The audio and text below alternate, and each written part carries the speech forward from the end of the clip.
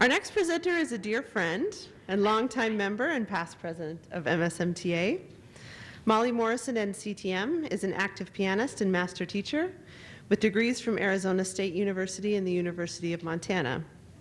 Currently, she maintains a thriving independent studio in Missoula, as well as a diverse performance career, collaborating with a variety of instrumental, vocal, and chamber groups throughout the years. As an adjudicator, Molly's infectious energy and expertise are so kindly delivered that student performers lucky enough to encounter her are not only left with a trove of musical wisdom, but an improved impression of themselves as musicians. I asked each of our speakers to share a short quote or bit of wisdom from a former teacher that they continue to live by today.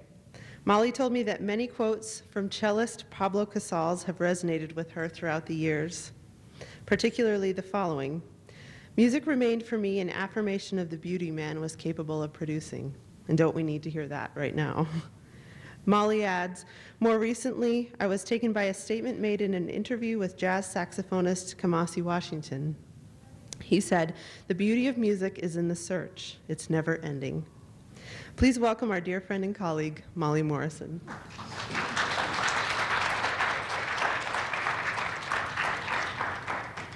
Well, first I would like to thank Jessica also.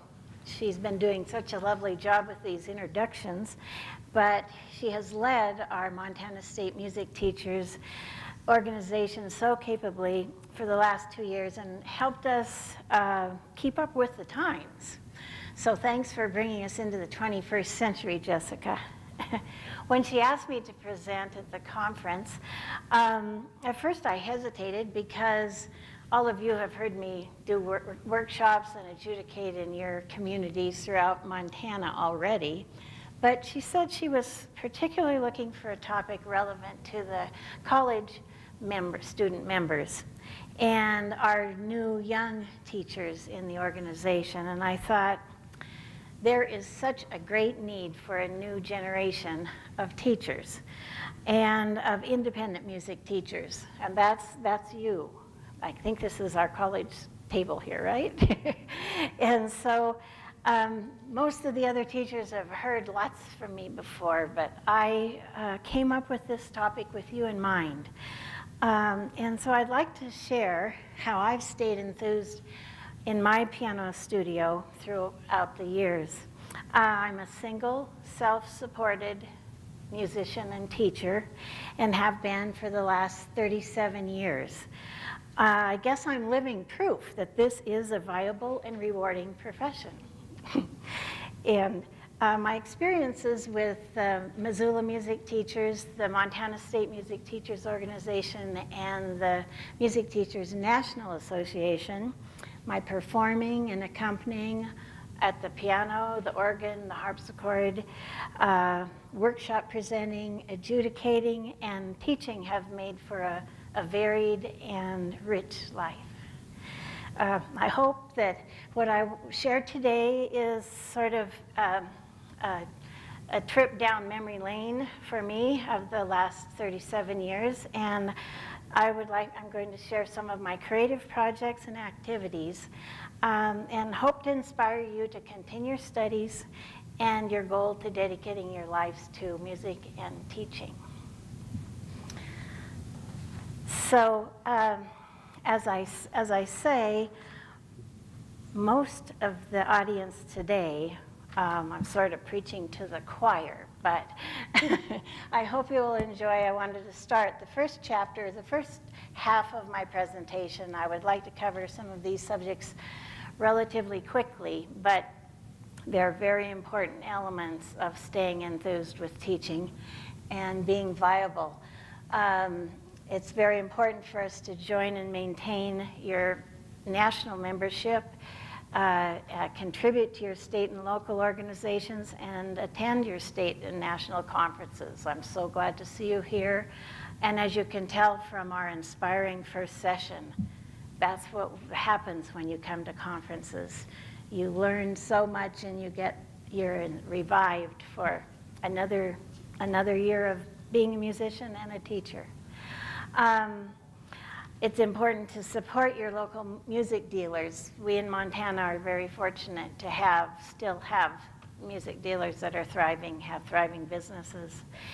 And I have found that keeping my pedagogy uh, library up to date, what I call refreshing it uh, regularly, is a great way to stay excited about teaching.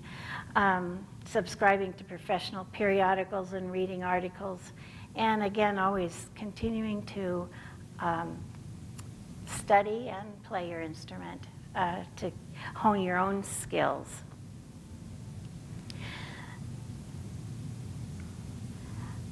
Our yearly state conference and always features regional and nationally acclaimed artists and teachers, like Dr. Takas, whose session on Beethoven's mind just transported us to a higher level of musical understanding.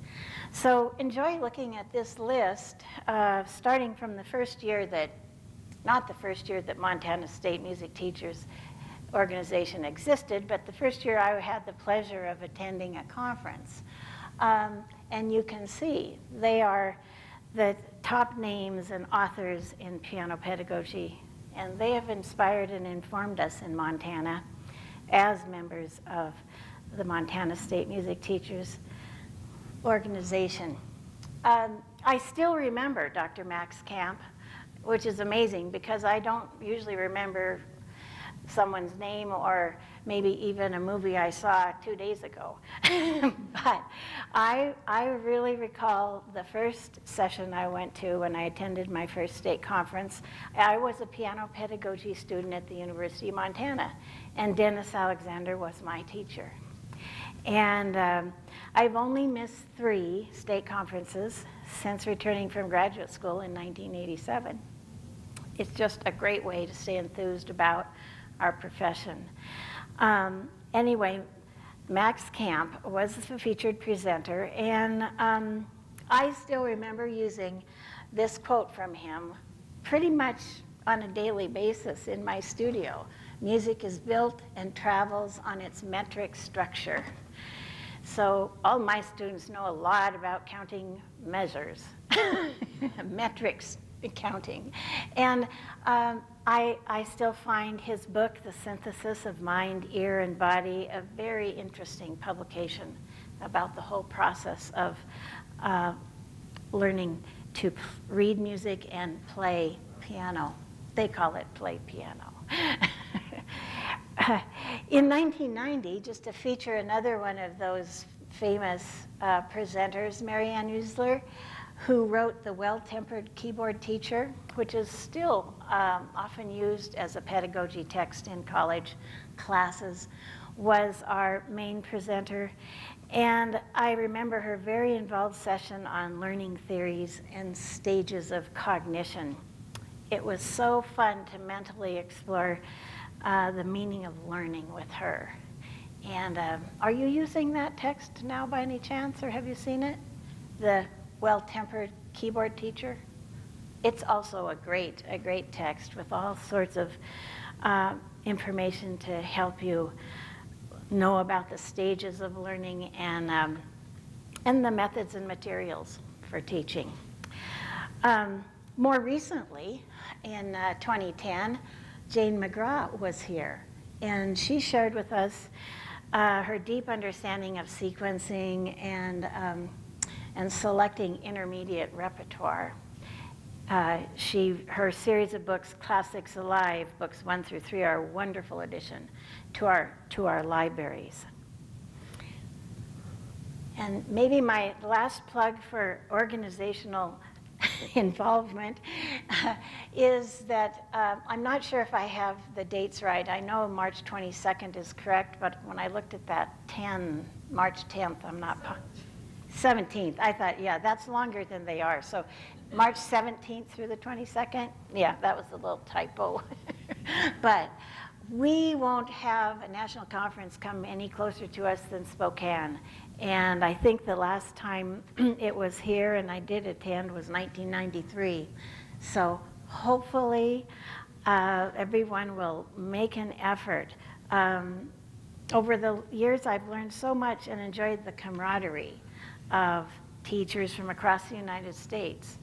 And part of this has been the through the contributions I've made as a local and state president, as a IMTF leader, a state librarian, and as the Northwest Certification Chair on the MTNA committee, which rewrote the national requirements for national certification that we have now.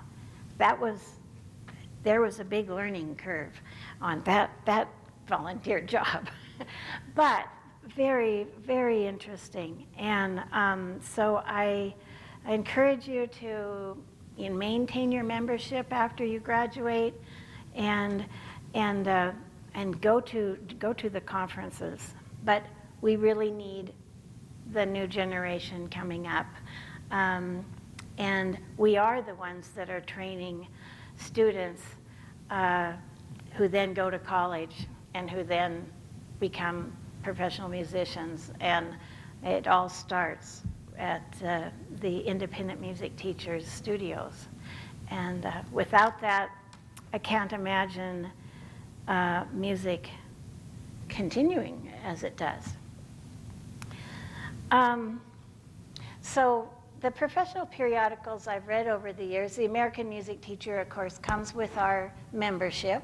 The Clavier Companion uh, is uh, no longer uh, in, in, existence, but the Clavier, the Keyboard Companion, and Piano Explorer is a publication tied to the Clavier magazine, written at about fifth grade level for students. It's a very nice resource that you can buy for your whole class uh, very cheaply uh, on a yearly basis. And The Pianist is a British publication written for amateur pianists who are enthusiastic and love piano. And I thoroughly enjoy reading it because it has current interviews with performing artists, performing pianists, uh, reviews of latest uh, CDs, latest recordings that are been produced, and um, and then it has master class information and little mini lessons in different different topics.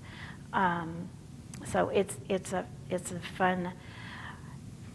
And through you know through these publications and through my continuing to build my library, um, it spurred my creativity.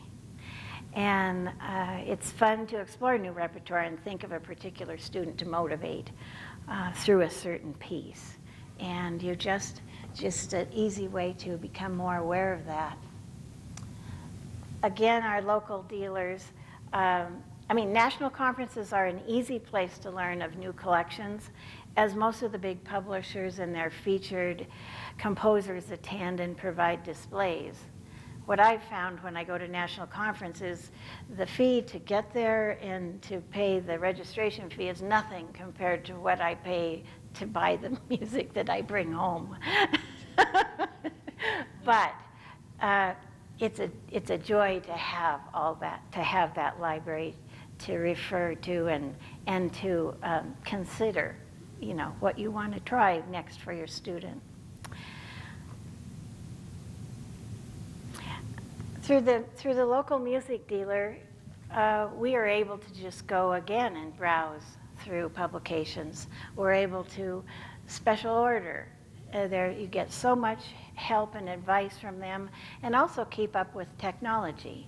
So it was through Morgenroth Music here in Missoula that I purchased my Disklavier um, and sound module soon after the technology was developed uh, by Yamaha.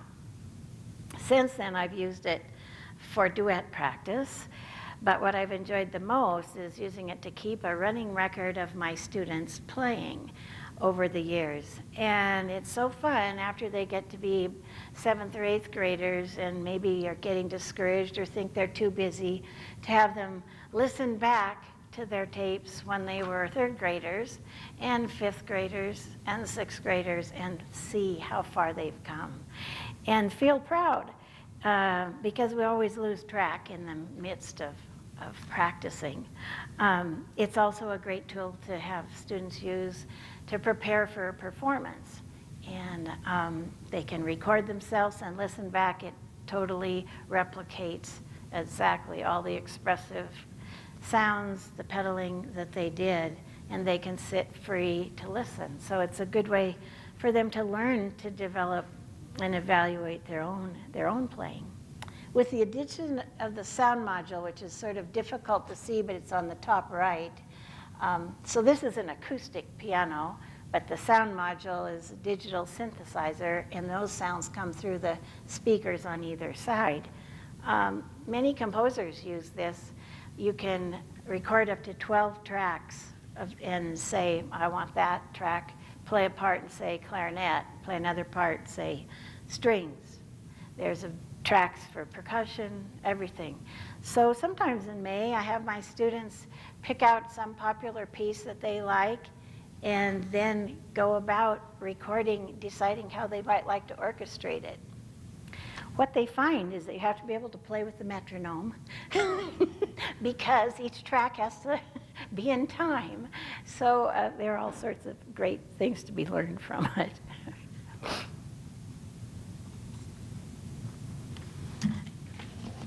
Well, from there, I would like to go now into an area which is more about uh, the kinds of creative projects I've done in my studio, and um, which will include pictures and stories, handouts, and uh, some audio uh, clips from student recitals.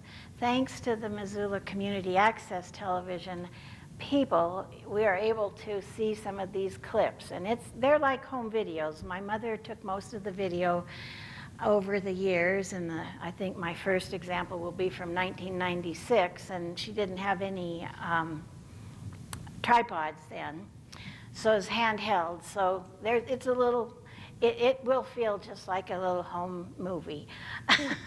but it's such a treat for me to look back and enjoy and get to see those. Um, so um, but I wouldn't have been able to uh, take them off of the DVDs that I owned and had transferred the original videos to if MCAT, and Neil's one of the great guys there that helped me out. They were so generous, and um, that I, I didn't have to do it by myself. In fact, I, I didn't do much. anyway, um, let's start with uh, some of the theme recitals that I came up with. And some of these ideas were really to organize myself and to keep myself enthused, you know. And uh, so, as you can see, different composers, Gershwin, Bartok, Grieg, a waltz recital, a sonatina recital, a ragtime recital, and, and a pop music recital. There are a million possibilities, of course. I particularly enjoyed um, preparing special group lessons about every six weeks, which supplement my students' individual lessons, and with additional theory work and music history and um, performance practice and rhythm exercises. So through these, these classes, I've been able to focus my teaching and, and prepare what I call theme recitals. Um, I don't have any, any recordings from these recitals, but I thought you'd enjoy seeing some of the class materials I produced to prepare the students um, for these, um, these themes and uh, some of the listing of repertoire that, that they performed. Currently, my young students are working on selections from West Side Story, and as it is the 100th year of Bernstein's birth. Well, they've never heard West Side Story. And of course, as you all well know, the rhythms, uh, they are not easy to play. But talk about great music. Um, our goal is towards the end of January to play the selection of Bernstein's West Side Story at the um, senior residence. So, so I'm, I'm still coming up with theme recitals.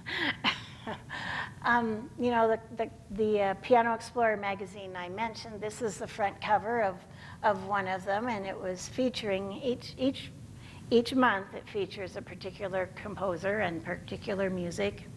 And, um, and, and so it would be something that I would include in my history articles and stories and in our group classes. This, these are all written about fifth grade level so even your younger students can, can read those and enjoy those magazines.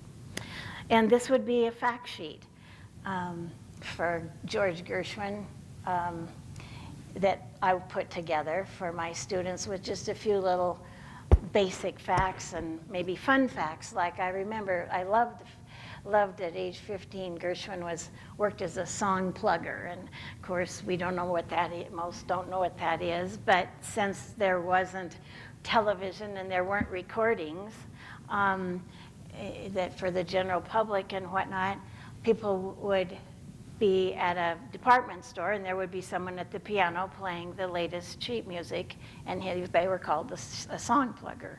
So that was sort of selling selling um, the, the, the music of the time before uh, we had all the amazing ways that we can easily access music, right? Anyway, in 1998, I came up with what I called a concert series for a group of uh, eager junior high students. And uh, they performed throughout the year a series of concerts, we called it. And um, this included the Gershwin recital, a ragtime recital, a sonatina recital, and a waltz recital. Waltz recital. Um, now I sort of think about that and wonder if, if I'd get my kids to put on four recitals like that. But it was, they were enthused. They were, they, and they were very proud and eager to share their, share their music. Um, so this was the program from the Gershwin recital. And as a result of the, his, the work in history, I would have students um, have a little, they, were, they would read the lyrics to the song they were going to play and then give a little history. Three or four of them gave a little history about Gershwin and the time of music um, to the audience. And I recall actually playing the opening and closing tunes, Someone to Watch Over Me and Our Love is Here to Stay, um, it's always good to play for your students, and it inspires them too. So, in that program, I, I did. Well, moving on to Bartok, I did, we did a Bartok recital. We just played pieces from the Romanian folk dances and the sonatina, you know, things that were manageable for the level students.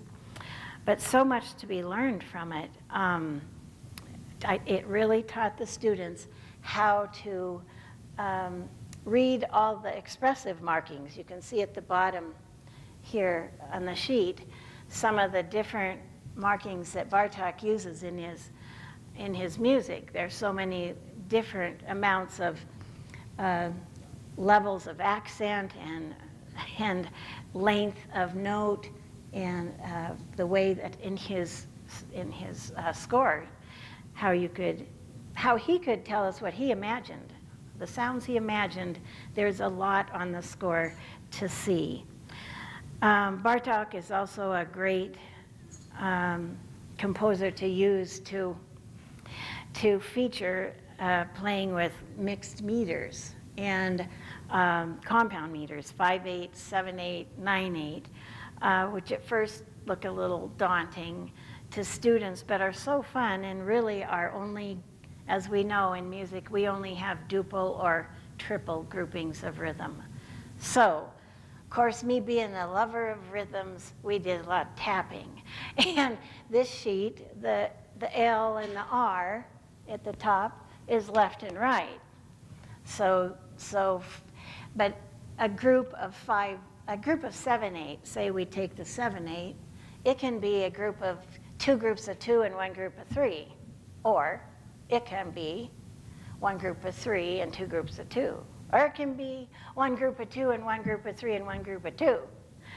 So you can come up with seven a lot of different ways. And so um, this is a nice sheet because that one, every time you see that one, that's your strong pulse. Um, but it, it, was pretty fun to do. Um, and something that, you know, they might not read a song, a piece like that for a long time, but um, just when they listened to the Bartok, they could hear some of that. Uh, this was a fact sheet from the Sonatina recital. And uh, the Sonatina recital involved a field trip to the university. and with my group class, and we learned uh, about the fortepiano and also uh, got to play it. And so they were all playing music by the classical composers, and we had studied articulation and the techniques involved um, and the delicate, lively sounds. And um, it was, it really, you can talk for a long time and a person doesn't understand till they really feel the touch on the fortepiano and they hear the sound. So just like what we were treated to with the Beethoven today. You could hear a very long lecture about those Beethoven sonatas, but when you have the combination of someone with a beautiful touch at the piano, um, exploring those sounds, you really get it.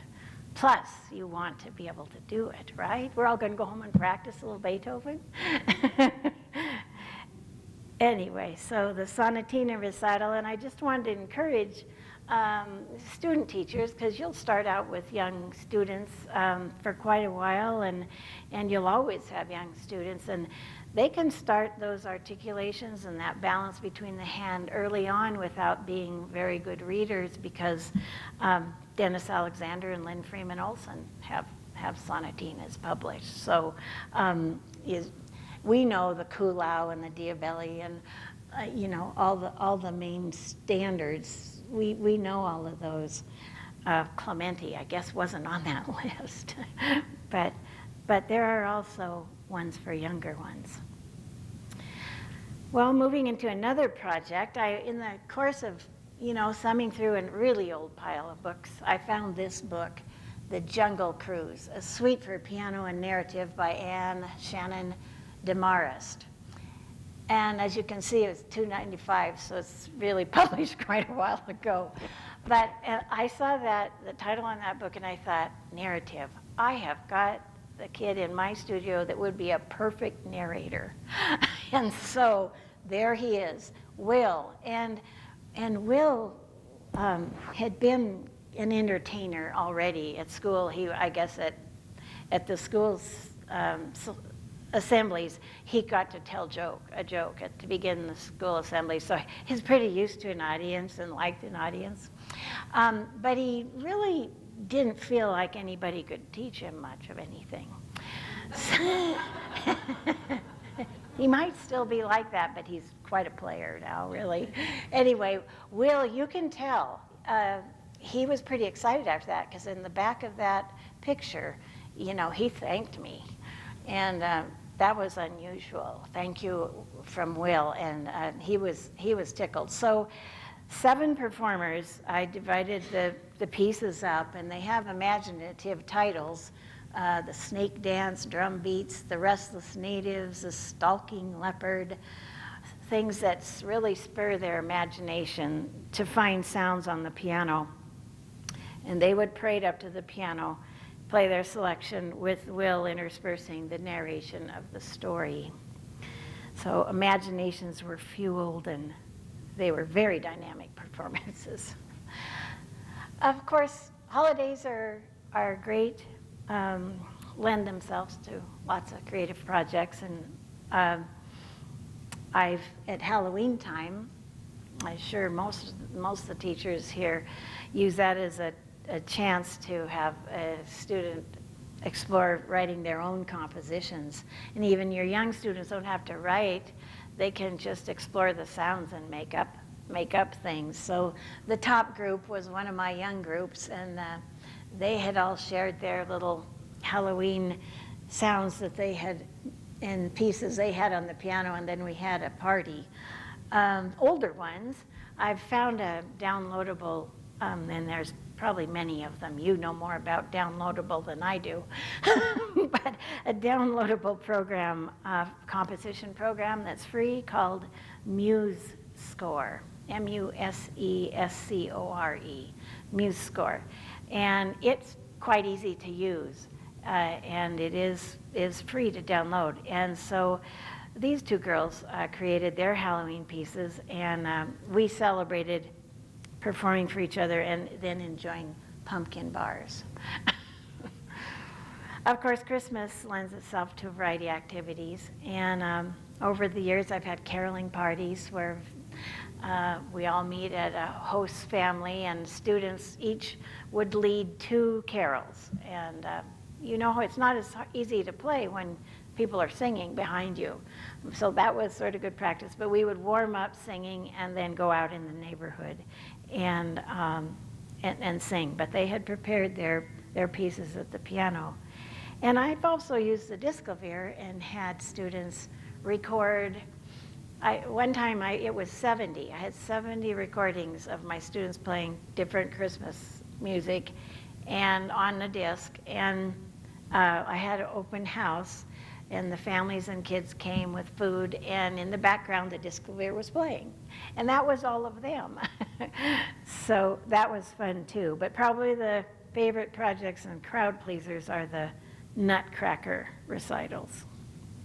So how many of you have tried a Nutcracker recital at the piano? Yeah. You know, there are lots of arrangements, great arrangements for piano of the Nutcracker music in, at different levels. So um, even at uh, late elementary level. Um, but of course, it's not the orchestra, but still, it's a way to introduce them to that music, and, and some know it, some don't. Anyway, I, I had an old, a very old book that was a sweet book that had a little stories at the beginning above the, the uh, each selection. And so I blew those up, and as the recital went, each student read part of the story before they played their piece. So they were telling the story along the way. The funny thing is, in that at one of those recitals, one of my adult students, Mary Lore, who happened to have a real flair for performing. Actually, I've never seen anyone have more fun at the piano than Mary Lore. Anyway, that's Mary Lore with two of my young students. And uh, I had asked her to play the final piece with me, which was the Waltz of the Flowers, a duet. And uh, afterwards, my two young students wanted their picture taken with her. Not the teacher. No, Mary Lure.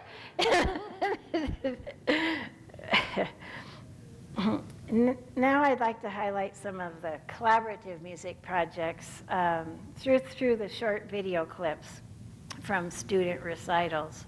Um, we all know duets are fun and a great way to develop musicianship. And uh, when I look at this group of students, I must, I must say, and as I say, I think this is 1996, um, or that I, I still remember all of them.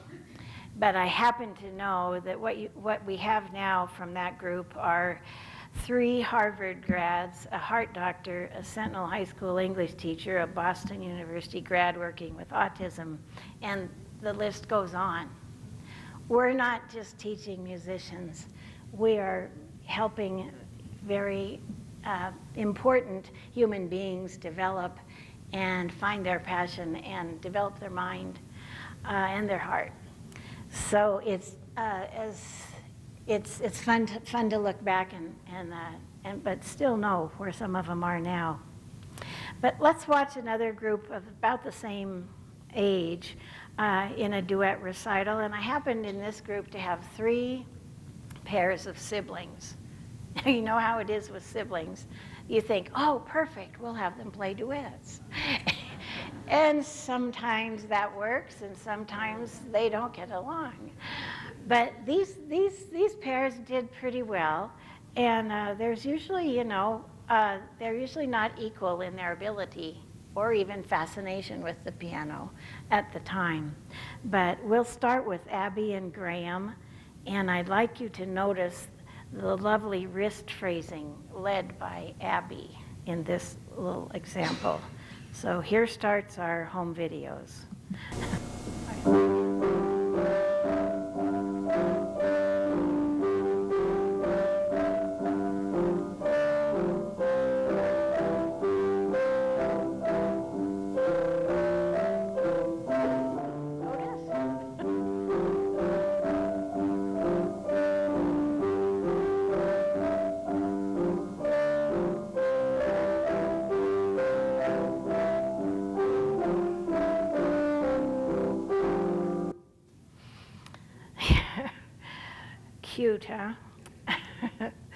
now for the Benson brothers, who surprised me at a performance by singing the words to Dennis Alexander's little duet, Saxophone Romp, and mimicking the Blues Brothers with head shaking and a jazzy oh yeah at the end and a tremolo, which I had not taught them.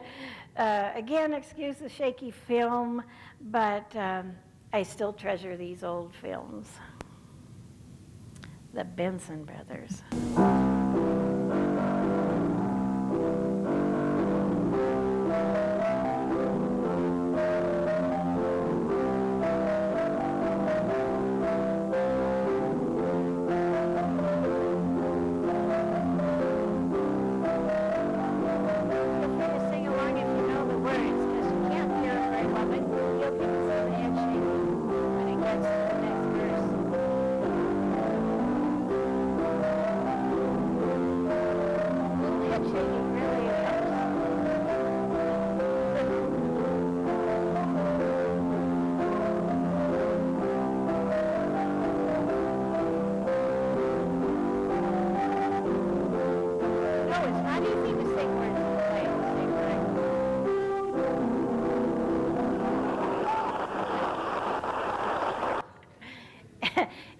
That was a surprise.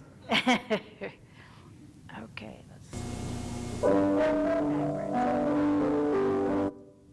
Sorry, I, I think I went backwards. I might, okay, this is the last pair of siblings, Megan and Katie, and I decided to pick a little clip from them because their voicing and balance was so lovely. And um, sadly, I don't know the name title of this composition. Um, but I also later will read a little um, letter from Megan. So um, here's the last of the little duet program.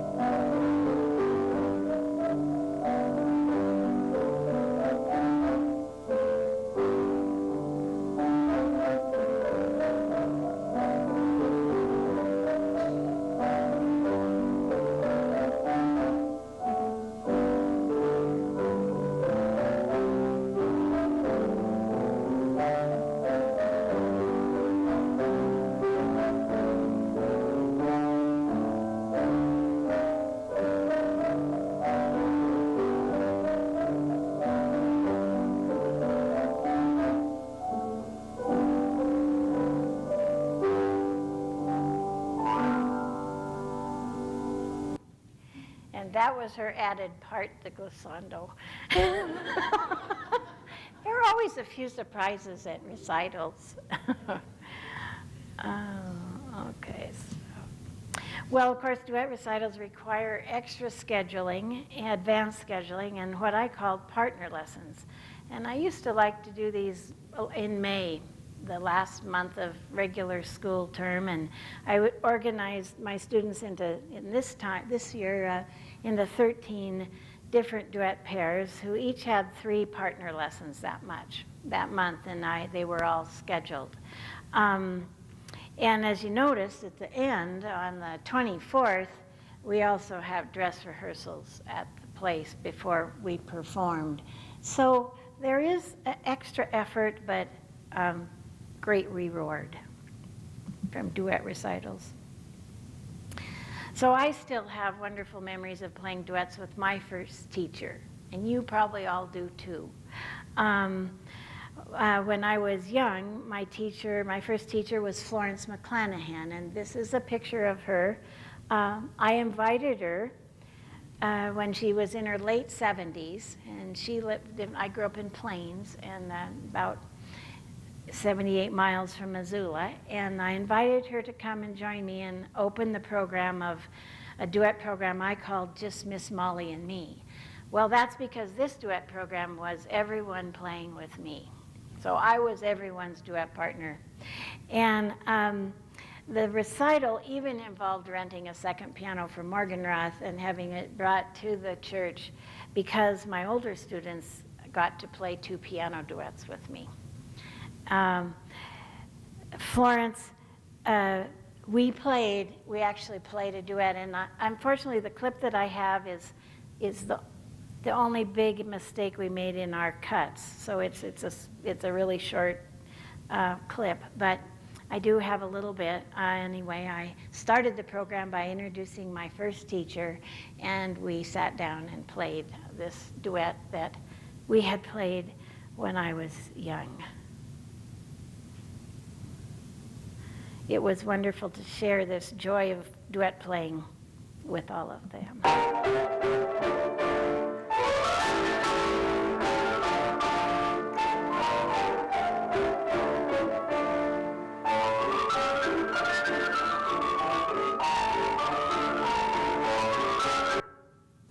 So, not a musical ending to that clip, but you get the idea. Uh, Florence was as nervous as a cat.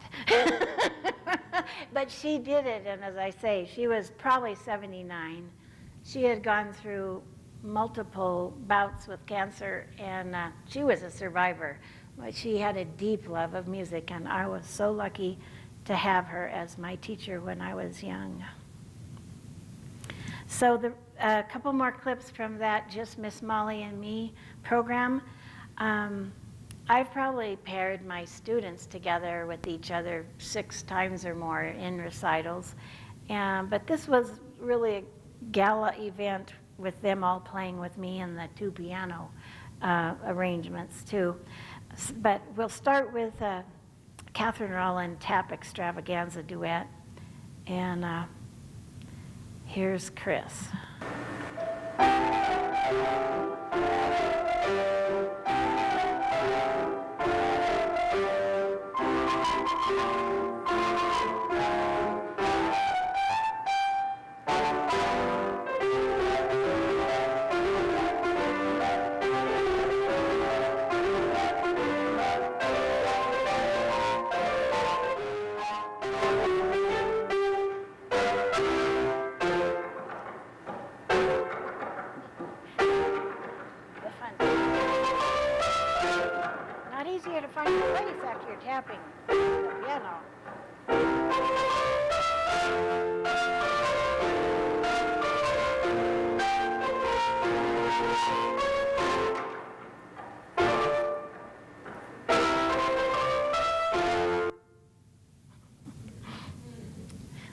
Extravaganza, Catherine Rollin. Um, this next one is a high school student, and it's a two piano work, Catherine Rollin's uh, Concerto in C for two pianos, the third movement. And I remember Adam at the time was not a practicer, and it does happen in high school. but he maybe never had been really, but anyway. Um, if you if you listen to this, you can see that he was pretty darn motivated, and I know he was very proud of his fast scales.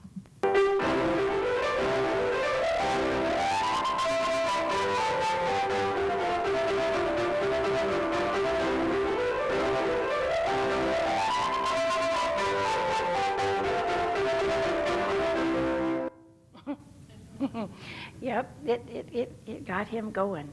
Um, uh, the other thing is you might notice is that all of the students were the page turners. So they had to seriously follow the music, which, as you know, not all of, not all of them are the greatest readers. So that was good practice too. And this is the last one from that recital. Um, I love seeing the smile on Emily's face and her conscious effort to keep her changing rhythms with the pulse established by my piano that I was on. And this is a little bit from the Spanish Rhapsody by Margaret Goldston for two pianos. Um, there were 16 more performers on that concert, uh, but this, this will be the last one you get to, we listen to. I, I didn't necessarily pick out the fanciest. I just had sort of, I thought there was some joy in some of the ones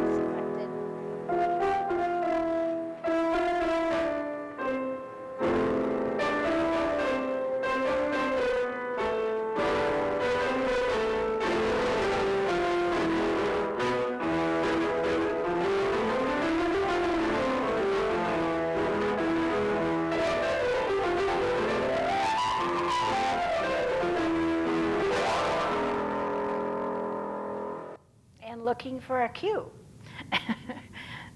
As you can tell, my mother has gotten a uh, has has gotten a tripod now. Not quite as bouncy. uh, well, today, no, I've I've chosen to use my my focus has been on my students to tell the story of the rewards of my professional life. But it's also important to continue to play yourself, as I said. And as a professional accompanist, uh, myself, I've performed everything from Brahms clarinet sonatas to Hindemith tuba sonatas, not on the tuba, and Schumann, Dichter, Liebes song cycles, and played for the Montana State Chorale and toured and uh, accompanying the Montana Suzuki Institute for 25 years.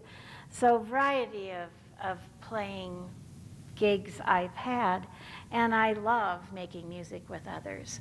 So I decided I really must share that with my students. And so I decided, um, since I play for so many string players in town and have collaborated with particularly students of Madam, Madeline McKelvey's here and a string teacher here in Missoula, we decided to together select music for some pairs of violin and piano.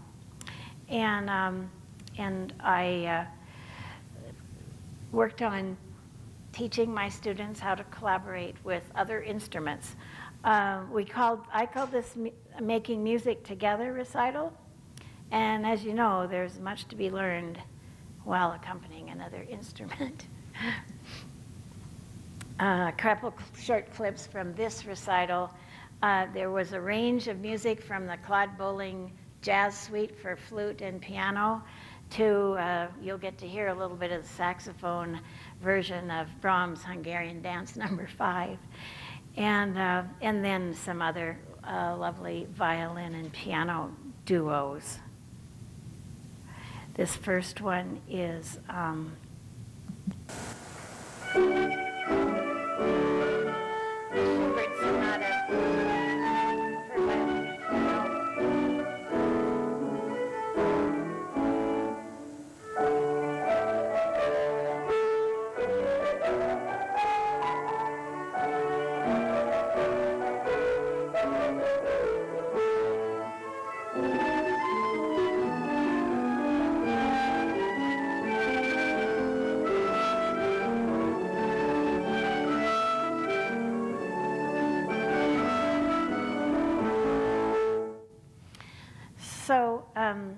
that's actually the little Abby with the wrist playing the duets with her brother a little later in life. Uh, of course, you know, we deal with, as I say, these are home videos and um, young students.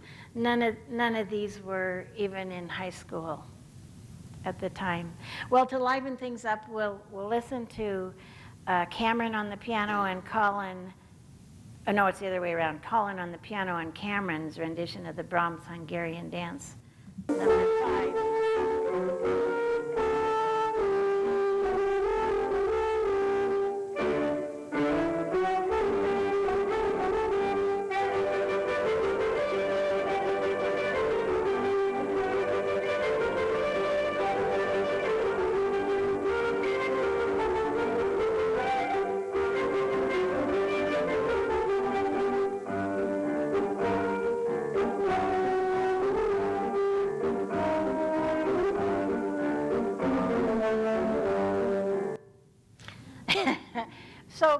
Job with the changing tempos and everything, you know. And as you can tell, were, were they having fun?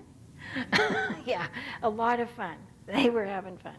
Um, now Cameron, the saxophone player, will switch to the piano with Abby on the violin, and this will be our last one, uh, uh, Steibelt Sonatina Opus 33, number one.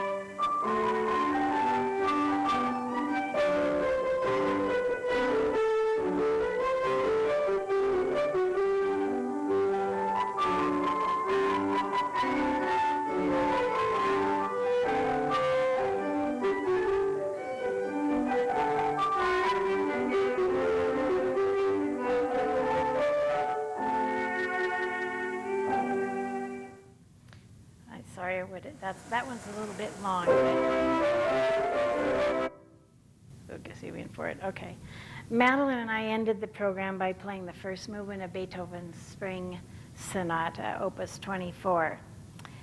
It was wonderful to share our love of making music together and be an example in the front at the end. Although I remember both of us were pretty nervous. A little bit of this.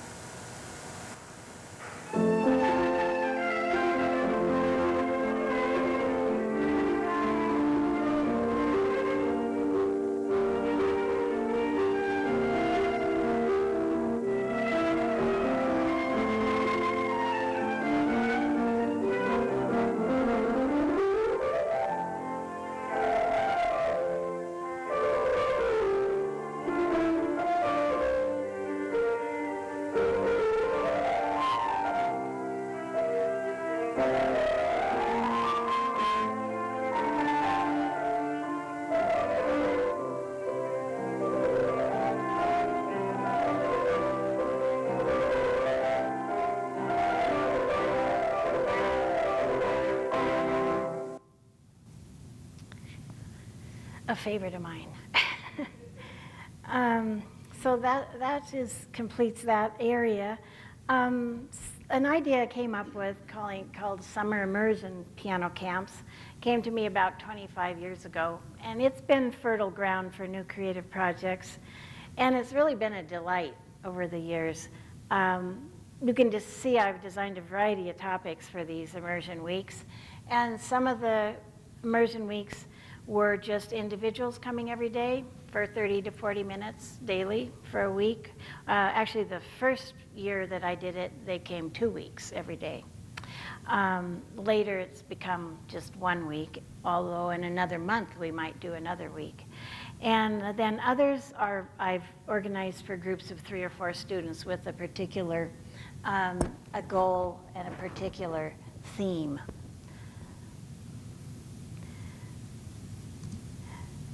Um, through these immersion sessions, I've seen students learn really good practice habits, develop better technique when you can see them every day and really hone in on something. Uh, and they've become recharged for the next year of study because they also find they can get quite, they can learn quite a bit. They can play a lot of music in five days. Um, so I'd like to read a note, a writ, note written by a fifth grader after one of those initial summer sessions. That was Megan from the duet, the last duet um, group that you heard. uh, well, it says, I wanted to write to you. Can everyone see it pretty well? Yeah, so maybe I don't even have to read it. Um, it it's just a testimonial to how that my goals for those those camps had come through.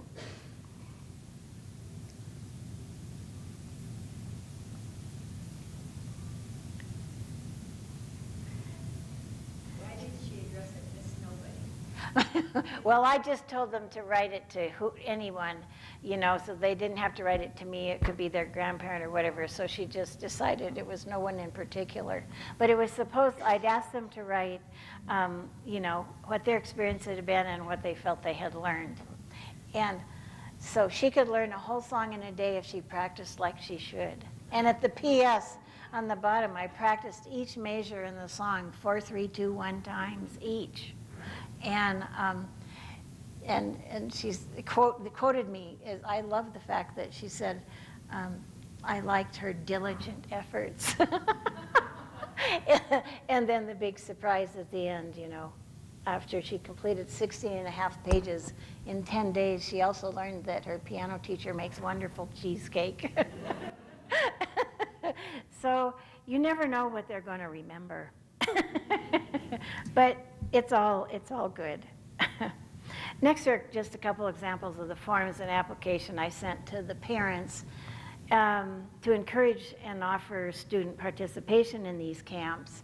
And so I would not only say place and time and cost, but the why is to learn to build chords, to learn primary chords in a key, to plan, pulse, and play, to play and sing any familiar song and to improve rhythm. Anyway, some particular focus of that camp that would be uh, why it would be a worthwhile thing for them to attend. Um, because of the level of scheduling and, and the level of teaching involved, um, the immersion accompanying camps that I've done, I've just been sort of on a, uh, offered it to only certain of my piano students I feel are ready at the reading level. And um, mostly middle school and early high school students were involved in this camp. And I uh, engaged and paid a small fee to a student French horn player, a violinist, and a flute and cello, cellist. So they got experience uh, accompanying a little bit of uh, different kinds of instruments, which involve listening at different levels. And uh, it was, it was uh, fun and very worthwhile. Let's Play the Masters Camp was planned for a group of really bright fourth grade boys. And during this week, they learned to play some easy arrangements of classic themes by the masters. They were just fourth graders, and um, but they could, you know, they could read um, basically. And we focused on the four periods of music history, and read about composers in a really fun book called Bach, Beethoven, and the Boys, um, which is a lighthearted version of music history by David Barbers. Anyway, at the conclusion of the camp, I asked the boys to turn in five favorite facts. And these were Charles's favorite facts. Well, as you can see, he got the juicy fact right off the bat. Haydn's head was stolen at his funeral. oh boy, always lots of learning going on. and um, in, included in these immersion, I have done multiple chamber music camps in the summer, uh, just for a week, and uh, focused on piano trios. Uh, I really wanted to share my love of chamber music with my students, and uh, thanks to my ongoing relationship with string teachers in town and accompanying a lot of the students, it was easy for me to be aware of, of string players that I could send an invitation to to come and collaborate with my three selected. This, this, this week I had three trios working, three pianists. And I give them, uh, sign the music a month in advance, give it to them in a month in advance, and the string players sometimes would get some help from their teachers and sometimes they wouldn't. Um, but my students would always have at least a month of lessons on their parts because of course we all know piano trios, the piano is the main part. so, um, but it, and I, I have uh, three clips from what we did on the fifth day after just five days of rehearsing together and learning about what to listen for and, and all the elements of ensemble. Um, we performed at the Grizzly Peak Senior Residence um, on the fifth day. And fortunately, I, I do have a video of, of this. So a little bit from the Kinder Trio in G major, uh, Colin on the piano, Rachel on the violin.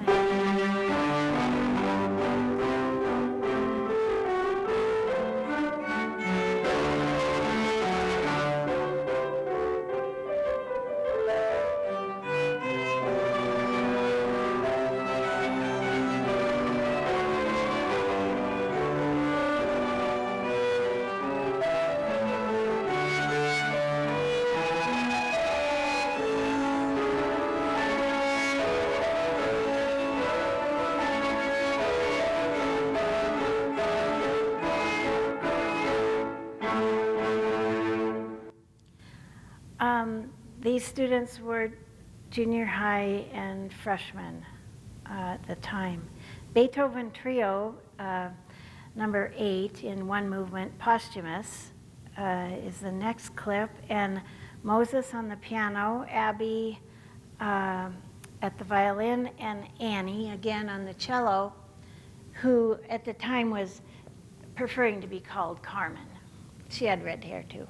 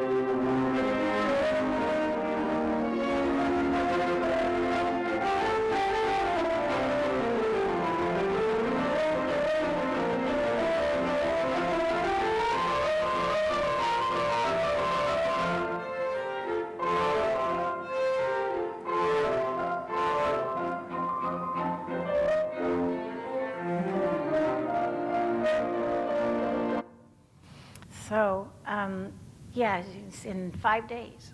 Uh, four days, really. The fifth day we went out to play. So, uh, to finish on a happy note, um, the Haydn Rondo from Trio in G, Hoboken 15, number 25.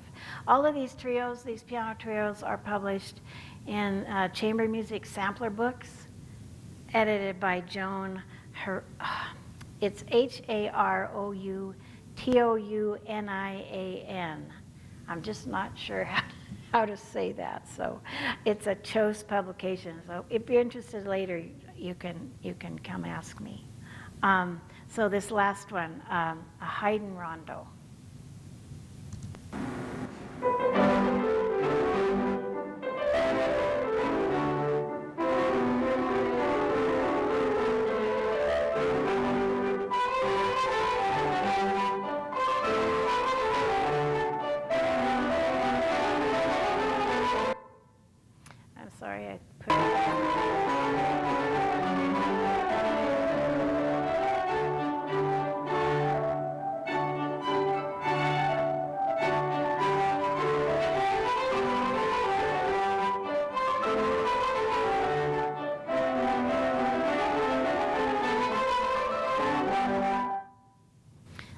Like my mother was learning how to do that close-up, and and she was liking the cello player. Like- Well, these days, adult students fill my teaching days, and they range from 70-year-old beginners to 60 and 70-year-old Gershwin and Beethoven sonata and Grieg Holberg suite players. They love their piano. Um, in fact, eh, we have, I have two of my adult students here at conference. They signed up, paid the fees, and they're going to be at all the sessions. So that's how enthused they are, lifelong learners. Anyway, so I had to come up with some summer camp for them too. And um, I just have a couple pictures, luckily no, no. and this was a, an adult theory camp. So daily, they were outside at the table on the patio doing the worksheets and taking instruction, and then uh, moving into the studio to uh, do some of those examples at the, at the keyboards. So looks like they're having fun. Maybe I need to plan another summer camp for them. it's also motivating uh, to combine creative juices with other teachers. And uh, for a few years, Dorothy Peterson and Sharon McQuarrie and I co-taught music history type classes. You've heard about this years ago, but um, we did this about three times a year. And at the end, we would put on what we called a music carnival. And at Sharon's house, where the, students would visit a variety of booths that we had set up, set up, which where they would perform tasks, earn points, and at the end, buy prizes.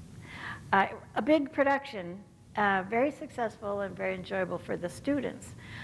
But from that, I came up with my own.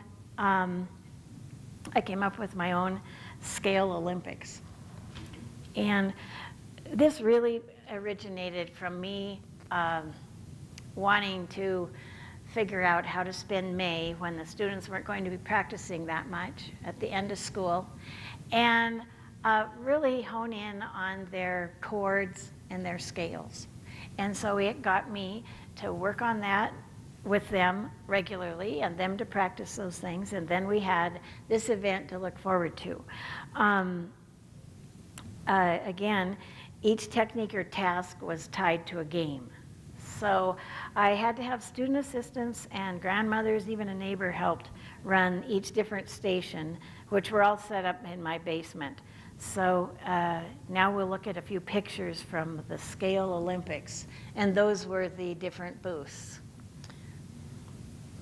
Uh, this Chris, the one who played Tap Extravaganza, there's, there's Chris at college age. He was one of my helpers with his girlfriend, and they were happy helpers. As I say, each station was identified. The dart throw involved playing major scales for me after they'd thrown the dart into, I think it was a hula hoop at the time. The rig, ring toss tested their major, minor, diminished, and augmented chords. And around their around there, you can't see very well, but there's a yellow card hanging from her neck. And that was where each station, there were nine stations, and that's where you would put the amount of points they had gotten from after they'd gone to each station and, and uh, done the task required. Here's tic-tac-toe chord, chord like a bingo game, major and minor chords. The little boy on the right, he'll be playing in the intermediate master class on Saturday. As a 12-year-old, he's still not real big, but, but the years fly by, and, and uh, so many, so many good memories. Hopscotch interval, they would hopscotch to a beat, and when the beat stopped, their, the note, the number they ended up on was the interval they were to draw on the staff. And the board game named Space Place also inver- involved interval terms, but of course, you know how they love board games. Of course, no Olympic music testing leaves out rhythm. so I called this station timeout. And the student would tap various two measure rhythm examples for points. All in all, this Scale Olympics, as I said, helped me organize my teaching at the end of the school year. And it was an afternoon to, for the students to discover really how much they knew and, uh, and feel proud for the skills that they had, had acquired. Well, I'd like to end the session with a brief tribute to my teacher and dear friend Dennis Alexander. As many of you know, he's given generously as a teacher, uh, as a composer, and as a pianist, and not only his own students, Ken and I being a couple of them in the room here, uh, but to teachers across the country through his workshops and compositions.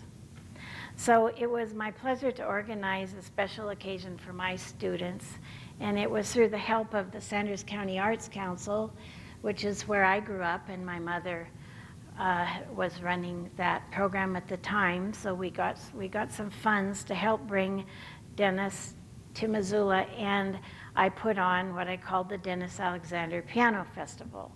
Now, all my students played two pieces for him. Uh, one of them at least had to be one of his compositions. And he worked with, they all got mini lessons, just like a festival, have, uh, like adjudications occur. And four of the top students were selected and featured on a recital program the next day, which Dennis performed in Plains. Uh, and we called that Music, the Gift That Keeps on Giving. And in that concert, he played his own compositions and spoke a little bit about each piece. I played some of his duets with him, and then the four top students were featured to play. so that is that's the program from that. Um, and those were the, the featured students. In conclusion, I hope this studio teaching retrospective will spur you on and to stay enthused about your teaching, and that you, our college student members, are really the future of our, this profession. And, um, but not just music, but music teaching is the gift that keeps on giving. Yeah, so thank you.